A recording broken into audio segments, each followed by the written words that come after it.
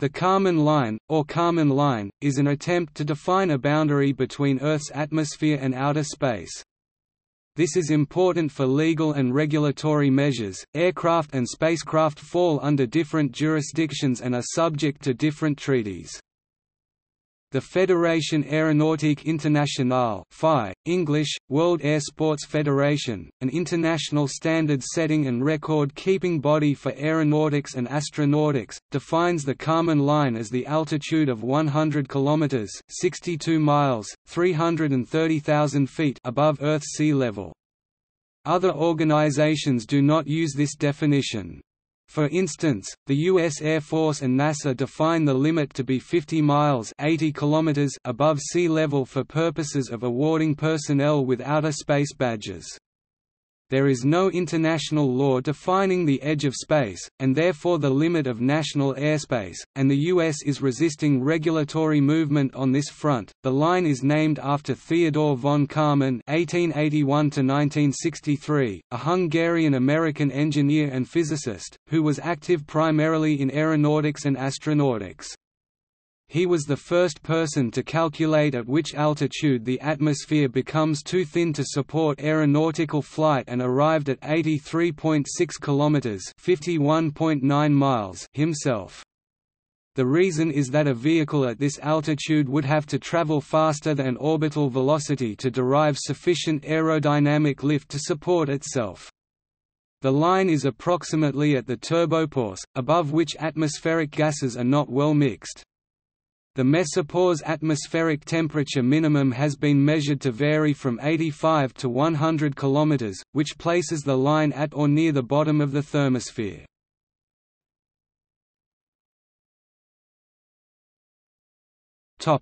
Kármán's comments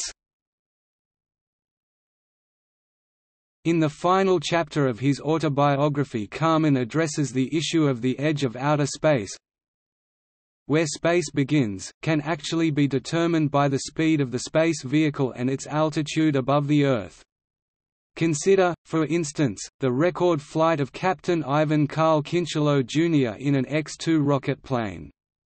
Kincheloe flew 2000 miles per hour, 3200 kilometers per hour at 126,000 feet, 38,500 meters or 24 miles up. At this altitude and speed, aerodynamic lift still carries 98% of the weight of the plane, and only 2% is carried by centrifugal force, or Kepler force, as space scientists call it.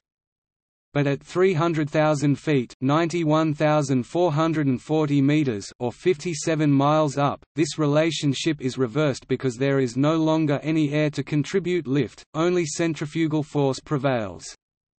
This is certainly a physical boundary, where aerodynamics stops and astronautics begins, and so I thought why should it not also be a jurisdictional boundary? Haley has kindly called it the Kármán jurisdictional line. Below this line space belongs to each country. Above this level there would be free space.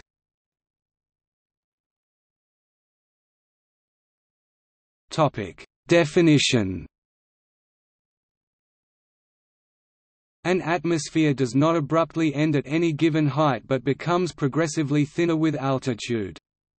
Also, depending on how the various layers that make up the space around the Earth are defined and depending on whether these layers are considered part of the actual atmosphere, the definition of the edge of space could vary considerably. If one were to consider the thermosphere and exosphere part of the atmosphere and not of space, one might have to extend the boundary to space to at least 10,000 kilometers (6,200 miles) above sea level. The Kármán line thus is an arbitrary definition based on the following considerations. An aircraft can only stay aloft by constantly traveling forward relative to the air rather than the ground, so that the wings can generate lift. The thinner the air, the faster the plane must go to generate enough lift to stay up. The amount of lift provided which must equal the vehicle's weight in order to maintain level flight is calculated by the lift equation L equals one two rho V two S C L display style L equals TFRAC 1 2 rho V caret 2 SC underscore L where L is the lift force ρ is the air density v is the aircraft speed relative to the airs is the aircraft's wing area, CL is the lift coefficient, lift L generated is directly proportional to the air density ρ. All other factors remaining unchanged, true airspeed v must increase to compensate for less air density ρ at higher altitudes. An orbiting spacecraft only stays in the sky if the centrifugal component of its movement around the Earth is enough to balance the downward pull of gravity. If it goes slower, the pull of gravity gradually makes its altitude decrease. The required speed is called orbital velocity, and it varies with the height of the orbit. For the International Space Station, or a Space Shuttle in low Earth orbit, the orbital velocity is about 27,000 km per hour 17,000 miles per hour. For an airplane flying higher and higher, the increasingly thin air provides less and less lift, requiring increasingly higher speed to create enough lift to hold the airplane up. It eventually reaches an altitude where it must fly so fast to generate lift that it reaches orbital velocity. The Kármán line is the altitude where the speed necessary to aerodynamically support the airplane's full weight equals orbital velocity assuming wing loading of a typical airplane. In practice, supporting full weight wouldn't be necessary to maintain altitude because the curvature of the Earth adds centrifugal lift as the airplane reaches orbital speed.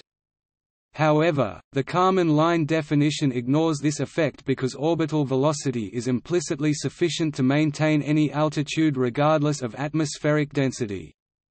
The Kármán line is therefore the highest altitude at which orbital speed provides sufficient aerodynamic lift to fly in a straight line that doesn't follow the curvature of the Earth's surface. Above 100 km the air density is about 1 2,200,000th the density on the surface. At the Kármán line, the air density ρ is such that L equals 1 2 ρ V 0 2 S C L equals M G display style L equals TFRAC 1 2 rho V underscore 0 caret 2 SC underscore L equals MG where V0 is the speed of a circular orbit at the same altitude in vacuum is the mass of the aircraft g is the acceleration due to gravity. Although the calculated altitude was not exactly 100 km, Kármán proposed that 100 km be the designated boundary to space, because the round number is more memorable, and the calculated altitude varies minutely as certain parameters are varied. An international committee recommended the 100 km line to the FAI, and upon adoption, it became widely accepted as the boundary to space for many purposes. However, there is still no international legal definition of the demarcation between a country's airspace and outer space. Another hurdle to strictly defining the boundary to space is the dynamic nature of Earth's atmosphere. For example, at an altitude of 1000 km (620 miles), the atmosphere's density can vary by a factor of 5, depending on the time of day, time of year, AP magnetic index, and recent solar flux. The FAI uses the Kármán line to define the boundary between aeronautics and astronautics. Aeronautics for FAI purposes, aerial activity, including all air sports, within 100 km of Earth's surface. Astronautics for FAI purposes, activity more than 100 km above Earth's surface.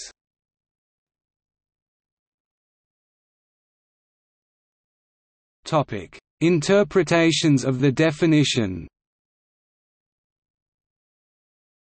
The expression, "'edge of space' is often used by, for instance, the FAI in some of their publications to refer to a region below the conventional 100 km boundary to space, which is often meant to include substantially lower regions as well. Thus, certain balloon or airplane flights might be described as reaching the edge of space. In such statements, reaching the edge of space merely refers to going higher than average aeronautical vehicles commonly would. In 1963, Andrew G. Haley discussed the Kármán line in his book Space Law and Government. In a chapter on the limits of national sovereignty, he made a survey of major writers' views. He indicated the inherent imprecision of the line. The line represents a mean or median measurement.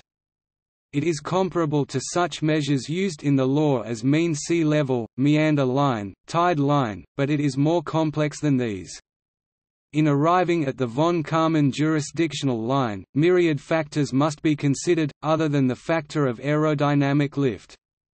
These factors have been discussed in a very large body of literature and by a score or more of commentators. They include the physical constitution of the air, the biological and physiological viability, and still other factors which logically join to establish a point at which air no longer exists and at which airspace ends.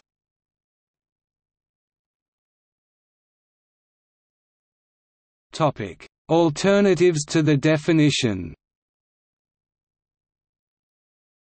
The U.S. Air Force definition of an astronaut is a person who has flown higher than 50 miles 80 kilometers above mean sea level, approximately the line between the mesosphere and the thermosphere.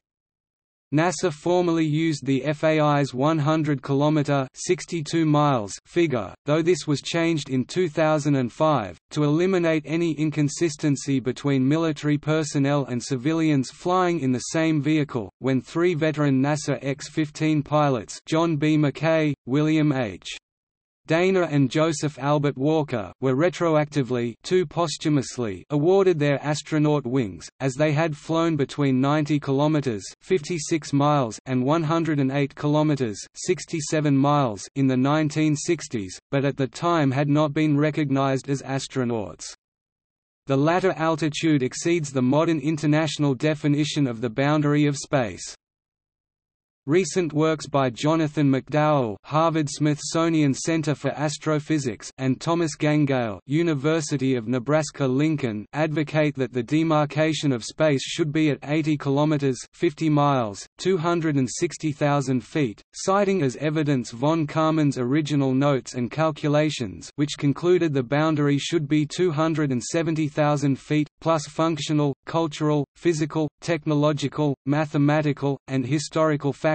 These findings have prompted the FAI to propose holding a joint conference with the International Astronautical Federation in 2019 to fully explore the issue, another definition proposed in international law discussions defines the lower boundary of space as the lowest perigee attainable by an orbiting space vehicle, but does not specify an altitude. This is the definition adopted by the U.S. military. Due to atmospheric drag, the lowest altitude at which an object in a circular orbit can complete at least one full revolution without propulsion is approximately 150 km 93 miles, whereas an object can maintain an elliptical orbit with perigee as low as about 130 km 81 miles without propulsion. Above altitudes of approximately 160 kilometers (100 miles), the sky is completely black.